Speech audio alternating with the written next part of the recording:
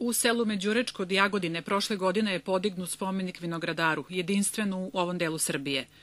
Na taj način meštani su želeli da se zahvale svojim precima, jer je ovaj kraj poznat po dobrim vinogradarima i kvalitetnim vinima – Spomenik je delo akademskog vajara Ivana Markovića iz Jagodine, a finansijska sredstva za izradu spomenika obezbedila je lokalna samouprava. Učestvovao sam u organizaciji oko podizanja spomenika zato što u susednom selu podignut je spomenik seoskom domaćinu i domaćici, a pošto ovo područje je poznato po gajanju vinove loze, pogotovo prokupca i pravljenja proizvodnje ovaj, ružice, onda smo se odlučili da tu podignemo spomenik vinogradaru. Pored tih starih vinogradara, ovde imaju dve velike vinarije koje zahvataju površinu od oko 60 hektara. I to su dve vinarije od pet u Srbiji gde i proizvodnja vina i proizvodnja grožđa u, na jednoj parceli.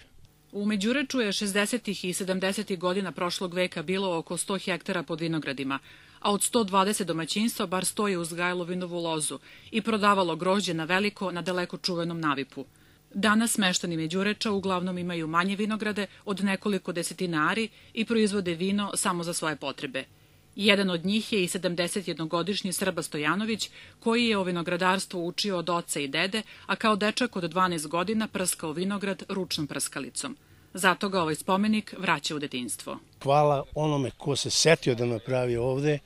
E, to nije samo spomenik da, da me isticira na mog oca, i dedu, nego na sve ove vredne ljude ovde koji su imali 96-97 hektara vinograd, 60-70 godina, a danas nema ni jedan hektar. To su vredno radili baš sa ovom kantom prskalicom i ovako su vredni bili i uvek kad prođemo ovde, uvek se setimo goci dede.